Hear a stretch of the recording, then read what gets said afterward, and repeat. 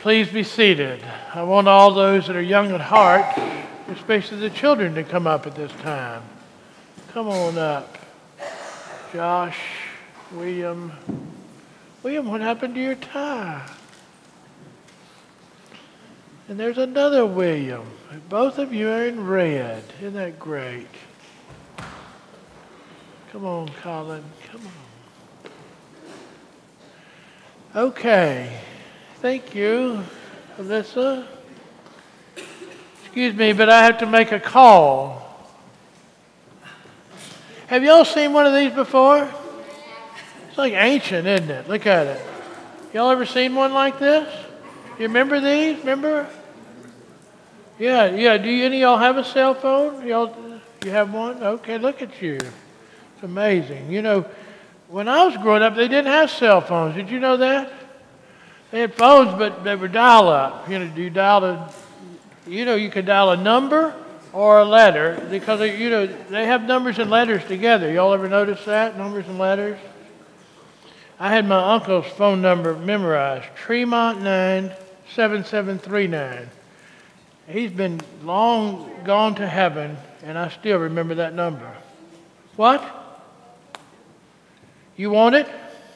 Okay, I'll give it to you after church okay? Uh, the, uh, uh, no, after church, after church. After church, no, I have to, uh, I'm preaching, don't you know, uh, this is a sermon, I'm preaching a sermon. Here's the deal, look, here, you can hold on to it, okay. Here, go sit down though. Go, go sit down. I had dial-up phones, dial-up, and they had a little cord on them between the phone and the receiver, right? Y'all remember these? Y'all ever see these? And, and I'd pick up the phone and, and we had to share our line with someone else. Isn't that amazing? We'd pick it up and there'd be somebody on the other end. What, William? Yeah, none of them have cords anymore, right? Yeah, well, some, none of them have these antennas anymore, William. Well, the point here is that there was a time where nobody had phones, right? Do y'all remember that? Y'all were too young for that, right? Huh?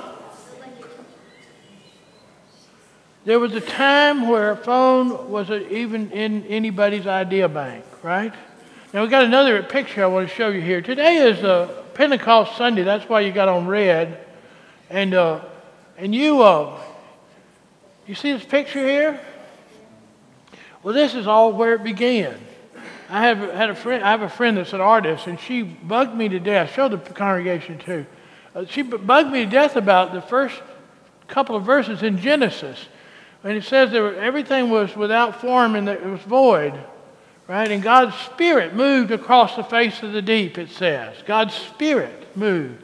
Today is the day we recognize the day that the Holy Spirit of God was poured out upon His church, and that's why we wear red. Uh, in this painting that she bugged me about for a month, a month on two verses of the Bible, right?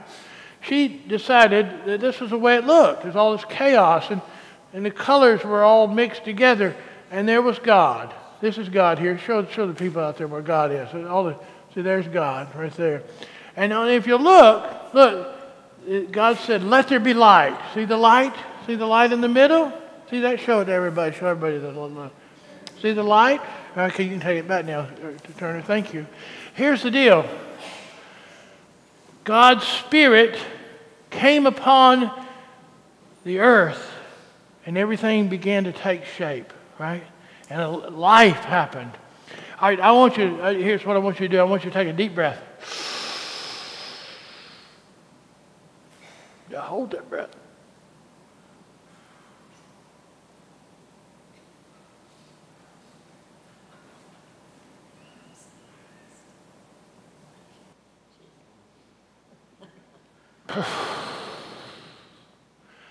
You know what happens when you do that? What, what would happen if you didn't have breath?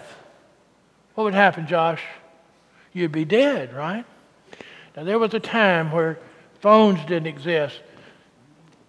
People spoke different languages and people couldn't communicate. But when God's Spirit moved across the people, something happened, something incredible. You know, you can take these phones. Okay, I'm going to give it back to you. I'm going to give it back to you. But listen, you take these phones and you dial them, if you don't baptize them, and I baptized this one, You, you take these phones and you can call somebody in a different country, right? And you can speak to them and you'll hear their voice. Do y'all know how that works? You know how that works? You know, Josh, you know how that works? Do y'all know how that works? It's a, kind of a mystery, isn't it? I mean, we think we know how it works. The, the voice will travel in the air somewhere and it just reaches over to the foreign land and you're talking to somebody. When God's Spirit came upon the people of the church, William, that's how it sounded. So, William! It's like a big wind that threw, threw out William. And, and here's the deal everybody could communicate. The communication happened in ways that never happened before. And that is what God wants for His church. He wants us to be together, to stay together, right? Now, the other, there's other piece of scripture talks about God's Spirit, William and William. Two Williams together. Can I call you William too, Colin? Oh, you can't be William. Okay. They can have three Williams. Anyway, here we go. When God's Spirit came at baptism, right? Jesus' baptism, it was like a dove. Do y'all remember that? I got you a dove over here. Come on. And remind me about this phone. I need it for the adult sermon, but I'll give it to you after the service. I promise you. Which one of y'all gets it? Huh? Oh, this is a good dove. This is a good dove. Let's see, I get it right. Ooh, that's a good dove. You want two? Okay, you can have two. How about that? There you go.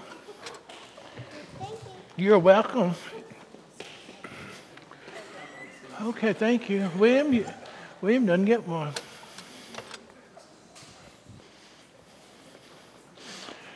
Father, make us the masters of ourselves that we might become the servants of others. Take our minds and think with them. Take our lips and speak through them. And take our hearts and set them on fire through Christ our Lord. Amen. Uh, do y'all remember these? Anybody got a cell phone on you today? If you have a cell phone, take it out right now. I want to see it. You got it on? Is it on? Is it on? Is your cell phone on? Are you texting during the service? Is yours, is yours on? Oh, Elizabeth's got one of these old-fashioned phones too.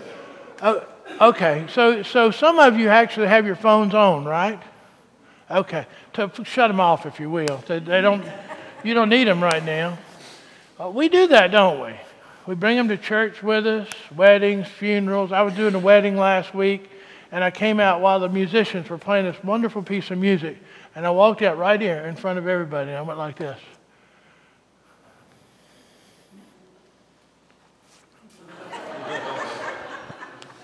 Because, you know, they, uh, there's often in the middle of, I was at an ordination one time, and one of the deacons, and the priest looked down on the deacons, kind of, you know, so pecking order kind of thing. And, and one of the deacons' phone went off in the service, right? And I thought, what, you know, what's the guy thinking, right? Now, here's the bad news. Five minutes later, during the bishop's sermon, it went off again. Now, why do we do that? You got to. I'll try to get into my thinking about why we do it, but I want to tell you something about cell phones. Years ago, I had a dream. I've been called a dreamer many times. And I am, and I'm proud to be a dreamer. You know, if you've heard the scripture today, it said, your old, young men will have visions, old men will dream dreams. And I think being a dreamer is okay, right? Because I believe the dreams come to me from God Almighty, and I hope they do, and I try to get a peace about that. But uh, years ago, I had a dream to start my own business, and I had a partner, Pat. If y'all ever met Pat, you'd think he was the most wonderful person in the whole world. Trudy that's right, isn't it? Yeah. He'd give you the shirt off his back, and then he'd write you a check for $20 and say, here, go buy you a couple more. Well, maybe $40. If you, depends on what kind of shirt you want. And that's just the way he is. He's that way. But he uh, and I started this business, and we had great ideas. We were in the grounds maintenance landscaping business. If you've not been here for a while, you don't know that, but those of you, y'all have endured this over and over again. But bear with me. We, were, we started this company with nothing, but we knew everybody. We knew so many people. He had 1,500 acres that he was maintaining, and I had 3,000 acres I was maintaining when we got together. So we knew all sorts of people. instant work. We knew a banker that would just give us carte blanche loans. So we had equipment and we got started. But Pat could not stay focused. He had all these ideas about how to make money. So he started a painting business, right? And brought in, he was a firefighter, so he brought in a fellow firefighter to be our painter. Failed miserably, right? And then, then he decided we were going to sell cars. He was going to sell high end cars, and we were going to make a lot of money selling high end cars. And his first car was a uh, Toronado. You all remember the Toronado? A yellow Toronado. Remember the Toronado? You don't see any around anymore, do you? You know, there's a reason for that, don't you, David?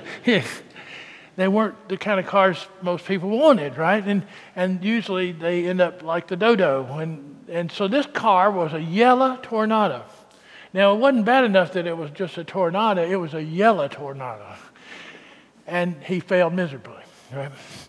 Now, when that happens, when something fails on us, when the life uh, force is taken out of some great idea that we have, or perhaps somebody dies on us, or we lose our job, or we get diagnosed with some wretched disease, we tend to just deflate, right? Things, things just, the air just comes out of us. And we want air. We want to be able to breathe again, right? Uh, I used to tell Pat over and over again, I said, Pat, we're really good at what we do. We have a passion for it. We want to help people in their lives so that they can be freed up to do other things. If we just stay focused, we would make it. So here's how we stayed focused. We had two trucks. Each of us had our own truck, then the company trucks that others drove. And in those trucks, we had a two-way radio. You remember that? Adam, what is it? Adam, what is it? Anyway, 30 Adams, you know. Uh, we had a walkie-talkie that we had to carry with us everywhere, like strapped to our belt, and a beeper. Do y'all remember beepers? Anybody ever have a beeper? And the beeper would go off, and then you have to look at it, and you'd say, "Oh, Pat's calling," right? And then you, then I'd have to go to a, and, and listen, we were together most of the time. Right? But I had all these things, and I'd have to go to a payphone to call him. Right? And then we got a call from the Beeper brothers, who were friends of his that lived in Montgomery. You got to come to Montgomery. We want to show you something. Right? And we got down to Montgomery, and they said, We've been awarded the first franchise for cell phones in the state of Alabama. And we want you to be the first salesman. And I looked at him and I thought, I'm in the grounds maintenance, landscaping business. I'm not in the cell phone business. But my partner Pat bought into it. So the first salesperson of cell phones in the state of Alabama was my business partner. Now, uh, to get to the short of it, it failed miserably, right? Okay. Because remember, if you remember way back then in the dark ages, when people didn't know about cell phones, you got a phone in your car and it looked just like your regular phone. Remember that? And it had a little cord on it. And you had to have an antenna drilled into your car, your trunk or your ceiling of the roof, which often leaked, right? And, and that was the only way you were going to be able to communicate with people around the world, or really not even around the world. It was short distance. That was the first cell phones. And he did that, and it irritated me no end because it tore up one of our trucks. And then he said, You got to have a cell phone too. I said, Pat, let me go through this with you. I have a two way radio in the truck. I have a beeper that I have to wear while I'm out in the field with the men digging in the dirt. I have a two way radio I have to carry with me everywhere I go let me give you this. This is a little hint. If you try all three of those and you can't get me, there's a reason for that.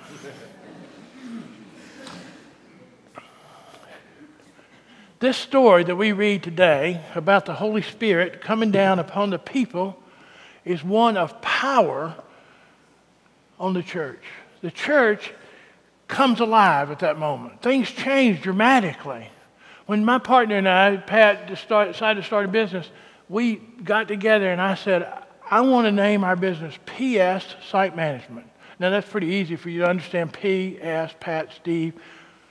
But it was P period S. You know what you do in the letter? You have write a letter, and then you forgot something, or you had some brilliant idea that you wanted to highlight, and you'll go P.S. God loves you, or something like that, right? And, we, and it was by purpose that we did that because we want our customers to know that we were going to go beyond the contract. We're going to give you more. And that's what God does at Pentecost. He says, I'm going to give you more. I'm going to put more on you. And, and this is why. This is what God is saying to us at the day of Pentecost. He's saying, You know, you've seen all this that I've done, this incredible stuff that Jesus did on the earth. He's my man. We're together, one. And I'm giving you His Spirit because I trust that you'll use it and even greater things will happen. That's what God's saying, really. That's what the power of the Holy Spirit is about. I trust you, God says. I trust you with my heart. I'm giving you my heart. We are a Pentecostal church. Now, I know I can tell, I can tell some of you real uh, uh, lifelong Episcopalians are going, did he say what I heard he say? Yes, we're a Pentecostal church.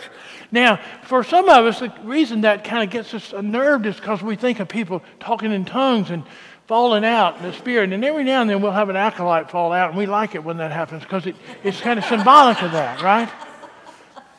Now look at this. Look at this. This is this is uh, the day before Memorial Day, right? Right. And look at look at all the empty seats here.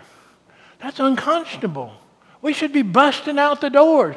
There should be more people in here than this. Lots more. Now, should's a difficult word, you know, but, but here's, here's what I believe. When the Holy Spirit uh, is active in the church, there's no stopping where we go. Because the Holy Spirit can't be contained. The Holy Spirit will take us in places that are unimaginable. And we're a Pentecostal church, and this is the truth. If we don't have the Holy Spirit, we aren't a church. We're not at all. We may be something, but we're not a church. And that's what this story is about. The biblical account is this goes like this. I had to explain it to the vestry on uh, what day do we meet? Tuesday. Did I do an okay job? Okay, good. In the beginning, when nothing was had formed, right? It says God's Spirit moved across the deep, right? And things began to take shape and form, and, and life began to be, right? You ever tried to live without breath? You can't do it. You ever seen somebody that has COPD and how difficult it is for them to get around? I, you know, I've had blood clots. I know what not being able to breathe will do for you. It's a rough. And you won't live very long if you don't breathe. Well, actually, you, if you don't breathe, you won't. You'll be dead, right? We know that, right? We got that. Y'all all clear on that? In the biblical account, this breath was God's Spirit. That's how it came to us. And it says, man was created in God's image, right? That's us. That's the Spirit of God coming upon us. And it was real and it's palpable. And throughout the biblical account, you hear the Ruach of God in the Old Testament and the Pneuma of God in the New Testament moving in and out of the people's lives. And wherever the Spirit is present, things happen. Incredible things happen. And here on the day of Pentecost, we read about these people that were, uh, people were telling they were drunk. You know, they're drunk, right? And I get accused of that every now and then uh, because I'm a dreamer, right? I'm a dreamer. Well, you're just drunk on your own craziness, right?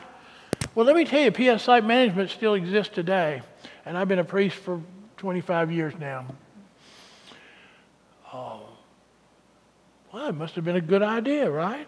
And it must have been an idea that grew. Breath.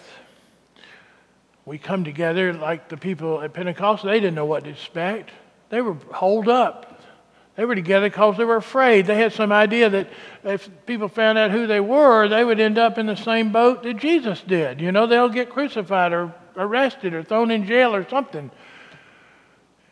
And yet, God had a plan, and God sent His Spirit on the people. And they began to do things they wouldn't have imagined had the Spirit not come upon them. That's what the church is. That's what we're about. We come together to experience grace. Y'all know that? Grace. And that grace is really God's Spirit in the world. Grace. But there's always buts, isn't there?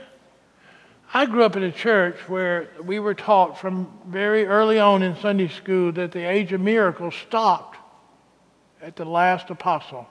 When the last apostle died, the age of miracles ended. Right? I was taught that over and over again. I never could quite get it. If that's so, why, why do we bother to talk about the Holy Spirit?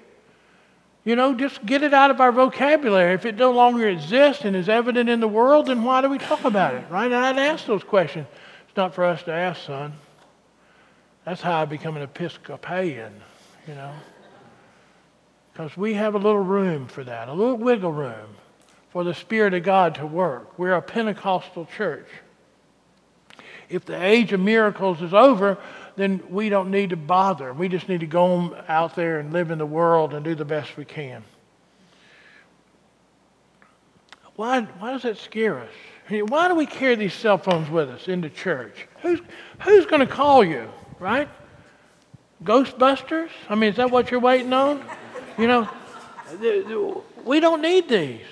Not in church, right? We have a different way of communicating. And remember, this story, Pentecost, if you're not familiar with the biblical story, this reverses what happened at Babel. Remember Babel, the story Babel? The people were trying to reach to the stars. They wanted to become like God, and God just kind of scattered them and scattered their languages. And in this story today, we read God brings them back together, and their languages are all heard and understood. And Jesus said that would happen, didn't he? In the scripture we read from the gospel, didn't he say, I'm going to send my advocate, and you'll understand much more. You know, but we have things that happen that just get in the way, and we think, now, how, how is this? Well, let me tell you, this, you know what this is? And you know why we don't want to talk about being a Pentecostal church? Because if we do, we'll lose control. If we give up these phones, if you give them up for a day, try giving them up for a day. Try, try not being on your computer, your phone, Remember these little antennas? We don't even need these anymore, right? One day, see what it does to you. You'll get the heebie jeebies. You'll, you'll be calling the uh, AA and asking if you can enter into a program, right? Because it, when we have them, we have control. We have control of all those people on our speed dial list. We have uh, control of all those people that are friends with us on Facebook, all that stuff, right? At least we think we do right? And then something happens. Somebody dies. Somebody gets diagnosed with a bad illness. Somebody loses their job or gets filed with divorce papers or, or something horrible beyond our imagination. Then you don't have control anymore, do you? But here's the good news. Every, every Sunday I preach a sermon and I have a little idea what that is, what, what the message is, right? And I'll tell you sometimes. I'm going to tell you today. Here's the message. There is a God and you're not it.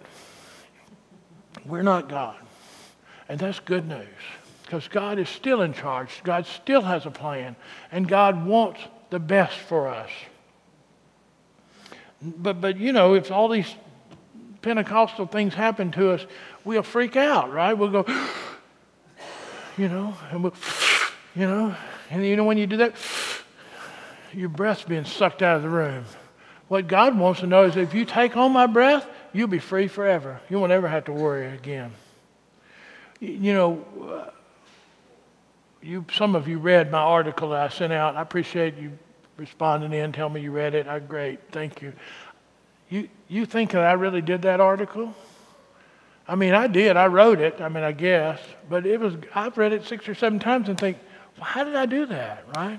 I get up here and preach on Sunday, uh, sometimes on fumes, right?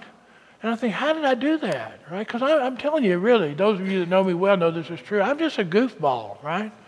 And God somehow has anointed me to do what I do, and I know that. This is not me, this is the Spirit of God speaking through me. And if it doesn't happen, then cursed be me. And I get up here every morning before y'all get here and I pray. I say, Lord, speak through me. Tom's seen me do it every Sunday. And sometimes I'm just rotten, rotten inside, rotten outside. And God somehow works through that rottenness. And that's what God does with our brokenness. We're all broken. We all have things in our lives that just can't be fixed. Humpty Dumpty, right? The brokenness is all around us. Here's the good news. We belong to a church where the Holy Spirit is present. And Trudy and I have received so many calls and letters and emails and stuff that is good stuff. And some of that comes from people that have much more to deal with than we do.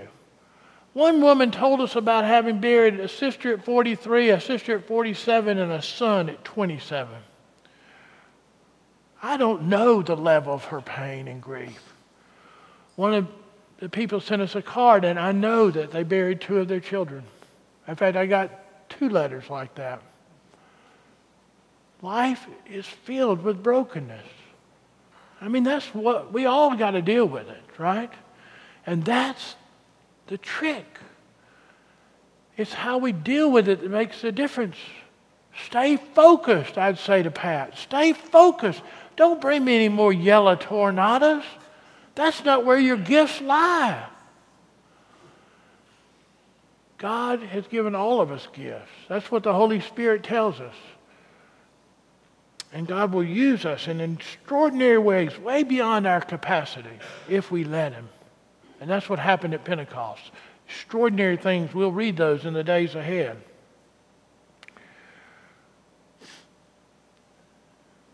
But, there's always a but. Some people can't get it, they just don't. There are people that have been in our church that have had losses. People die, somebody in their family, right? Mother, daughter, grandmother, you know, whatever. And they expect something from the church. They expect the church to do something extraordinary, reaching out, right? Well, they did for us. I mean, they are, everybody. Why is that? Because we have given ourselves over to this reality. As in the early church, there was self sacrifice everywhere. People gave up control and said, I want to be a part of this. This is going to make a difference in the world, not just my own life. This is going to make a difference it's going to bring in the kingdom of heaven. If we get focused on the source, the sky's the limit. And no matter what we go through, God will be with us and God will lead us to the promised land. That's a guarantee. No questions asked. Stay focused. Give yourself up to something greater than yourself. And there's only one thing that's greater than anything, and that's God Almighty. And God invites us in and says, I'll give you my spirit. I'll pour my spirit upon you. And I trust you that if you receive that gift, greater things than I ever did will be possible for you. Trust in the Holy Spirit and have freedom beyond your capacity to know. And that's good news. Those with ears to hear, let them hear.